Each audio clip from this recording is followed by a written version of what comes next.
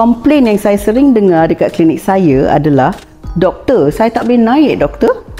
Hai, saya Dr. Jasmine dari klinik Dr. Jasmine. Please like, share dan follow semua social media kami. Ada sebilangan lelaki yang mengalami masalah tak boleh naik semasa berhubungan intim.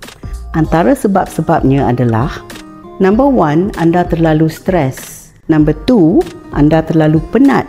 Number three, kurang tidur. Number four, terlalu banyak minum minuman alkohol. Ini bukan masalah yang membimbangkan. Tetapi, kalau benda ni berlaku terlalu kerap, mungkin anda mengalami masalah mati pucuk. Masalah mati pucuk pula selalunya terjadi disebabkan penyakit kronik seperti kencing manis, darah tinggi, high kolesterol, penyakit jantung dan sebagainya. Jika anda mengalami masalah ini, bolehlah dengan segera pergi berjumpa dengan doktor pakar yang bertauliah sebelum penyakit ini menjadi lebih kronik dan sukar untuk dirawati. Fikir-fikirkanlah.